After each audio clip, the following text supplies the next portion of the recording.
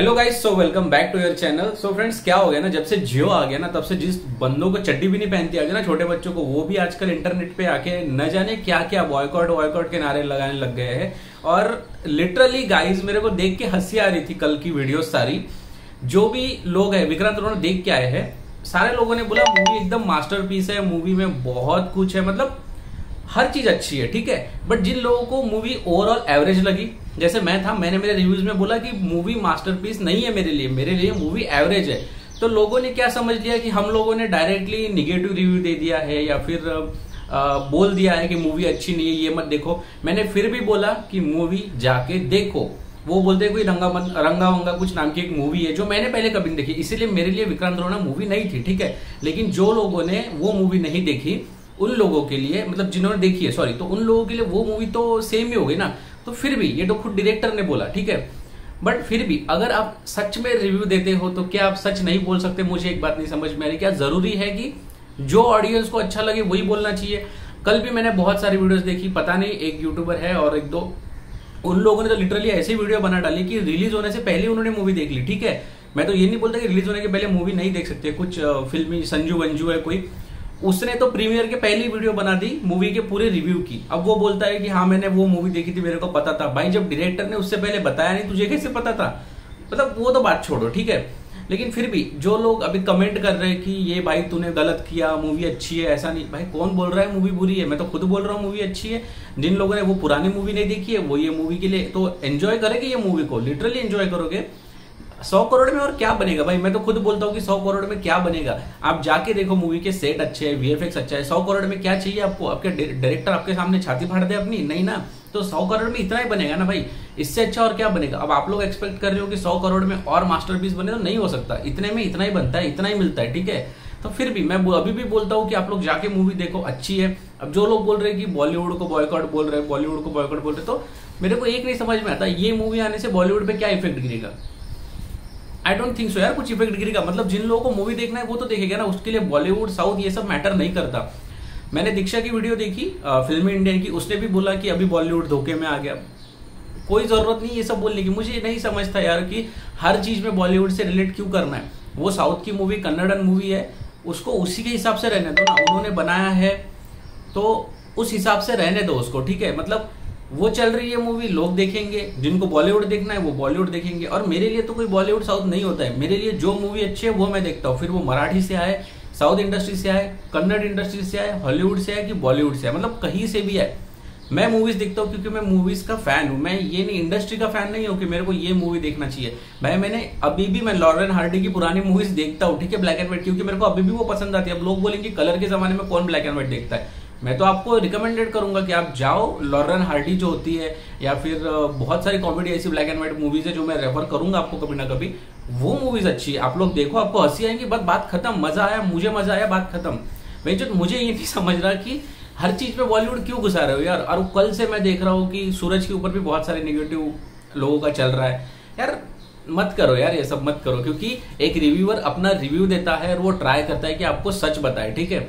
सच बताने का अगर नतीजा ये होता होगा तो आई डोंट थिंक सो कि कोई रिव्यूअर अगली बार से सच बोलेगा। आपको बस वही चाहिए होगा कि आप जो चाहिए वही बोले। रिव्यू आप क्यों देखते हो? कि आपको देखना है अच्छा है या बुरा है? तो ज़रूरी थोड़ी है कि उसने हर चीज़ में अच्छा बोलना चाहिए। कल मुझे एक बंदे ने कमेंट किया, मुझे नाम नहीं याद आ रहा उसका।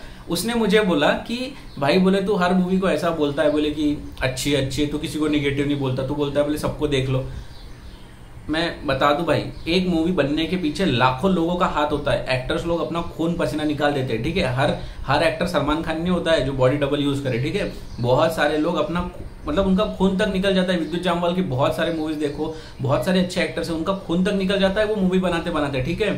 तो और उनके पीछे एक कचरे वाले से लेके तो एक एक्टर और एक डायरेक्टर यहाँ तक लोग काम करते हैं मूवी के पीछे। और वो मूवी के पीछे कितनी मेहनत होती है। भले चाहे एक शॉर्ट फ़िल्म भी बने ना, उसके पीछे दस लोग तो मेहनत तो होती है कम से कम। तो मैं इसीलिए बोलता हूँ कि आप लोग एक चॉइस दो। आप लोग उसको एक ट्राई दो। इसलिए मैं हर बार बोलता हूँ कि मूवी मैं मेरे वीडियोज़ में हमेशा बोलता हूँ, मेरा रिव्यू गंदा है, मुझे वो भी अच्छी अच्छी नहीं लगी बात ठीक है, लेकिन आप भी जाके देखो। क्यों आप जाके देखो? क्योंकि आपका चॉइस डिफरेंट हो सकता है, हो सकता है आपको पसंद आ जाए। मुझे बहुत सारी मूवी नहीं पसंद है, मुझे बुल बुल टू नहीं पसंद है, बहुत लोगों को पसंद है। अपनी अपनी चॉइस होती है, मुझे अक्षय कुमार ही पसंद आया वो मूवी में तो मैं आप पे थोप तो नहीं सकता ना वो डिसीज़न मेरा कि भाई आपको भी वही देखना है, आपको भी वही देखना है। नहीं, मैं रिव्यूअर हूँ, मेरा काम है रिव्यू देना, ना कि आपके डिसीज़न थोपना, ठीक है? जैसे मैंने क्राइम शो देखा था आज तक पे आता है शायद से कोई हम्स करके। तो उन्होंने एक बार बोला था, उनको एक बार एक लोग ने बोला था, कोई तो भी किसी ने कमेंट किया था कि भाई आपको क्या लगता है कौन गुनेगार है? तो उन्होंने एक बहुत अच्छी चीज़ बोलते हुए आपको यहाँ पे बताता हूँ। उन्होंने बोला था कि भाई, मैं क्राइम तक का रिपोर्टर हूँ, मैं रिपोर्ट कर सकता हूँ, मैं ये नहीं बोल सकता, मैं अदालत नहीं हूँ कि फैसला दूँ कि ये गलत है, ये सही है, मेरा काम है आप तक स्टोरी पहुंचाना। तो मैं भी ये बोलूँगा, मैं एक रिव्यूअर हूँ, ठीक है? मैं, मेरा ओपिनियन देता हूँ, ये अच्छा है, ये बुरा है। डिसीज़न आपको लेना है, देखना है, नहीं देखना है। लेकिन हाँ मैं कभी किसी मूवी को किसी मूवी के साथ कंपेयर नहीं करता, भले चाहे वो कॉपी हो, ठीक है? कंपेयर इसीलिए नहीं करता कि उसमें अलग एफर्ट डाले गए, इसमें अलग एफर्ट डाले गए, ठीक है? तो डायरेक्टर्स अलग होते हैं प्रोड्यूसर अलग होते हैं एक्टर्स अलग है। हर चीज़ का एक ना इसेंस होता है, ठीक है? जैसे एक नॉर्मली छोटा सा एग्ज़ाम्पल दूँ तो महाराष्ट्रियन बिरयानी अलग होती है, हैदराबादी बिरयानी अलग होती है, लेकिन क्या नाम मतलब एक होने से क्या उनकी टेस्ट अलग होगी? नहीं। उनका टेस्ट अलग होता है, उनका एसेंस अलग होता है, उनका फ्लेवर्स अलग होते हैं। तो इसीलिए हर मूवीज़ का टेस्ट इसेंस अलग होता है, ठीक है? भले एक कॉपी बनती हो, उनका कुछ अलग इसेंस होता है ना? आप जाके बहुत सारे कॉपीज मूवी देख लो, आपको सेम टू सेम कभी नहीं मिलता है, ठीक है? तो इसीलिए मैं बोलता हूँ कि विक्रांत रोना ठीक है, अच्छी मूवी है, आप एक बार ट्राई दो, लेकिन प्लीज़ उसको ट्राई दे देते, ये मत बोलो कि बॉलीवुड चला गया बॉलीवुड ये हो गया।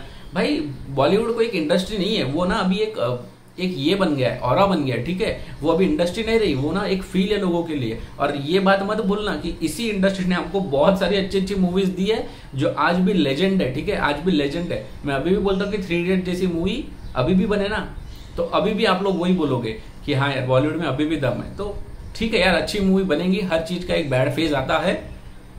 धूप है, छाव है, चलता रहता है। आज बॉलीवुड पे बैड फ़ेज़ है, कल साउथ मूवी पे था। आज साउथ मूवी हिट है। कल जाके और कुछ होगा। कल पता नहीं कन्नड़ मूवी आगे चली जाएगी साउथ मूवी से या फिर कल ये भी हो सकता है कि मराठी इंडस्ट्री आगे आ जाए सबसे। तो प्लीज़ यार, प्यार सबको दो, सारी मूवीज़ देखो, आपके चॉइस की है, आप देखो रिव्यू देखो, लेकिन डिसाइड डिसाइड जो करना है वो आप करो। सो थैंक यू गाइज़ मैं बोलूँगा नहीं कि सब्सक्राइब वगैरह करो। आपको ये वीडियोस पसंद आती है तो सब्सक्राइब करो यार, क्योंकि मैं ना सच बोलता हूँ, मैं ना वो शुगर कोटिंग नहीं कर सकता आप लोगों के लिए कि हाँ यार, आपने, आपको पसंद आया, इसलिए मैं हर मूवीज़ को अच्छा ही बोल दूँ। ठीक है यार, मेरे को अच्छा लगता है, मैं बोलूँगा, नहीं लगता है, नहीं बोलूँगा, आपको देखना है, देखो। जिनको पसंद आता है, वो देखेंगे। So thank you guys for watching this video अगली वीडियो को अच्छी बनाएँगे, क्योंकि ये टॉपिक बहुत ज़्यादा घिसा पीटा है और मेरे को इसके ऊपर और ज़्यादा बड़बड़ नहीं करनी की, क्योंकि ये मेरे को वेस्ट ऑफ़ टाइम लगता है। ठीक है? तो थैंक यू गाइज़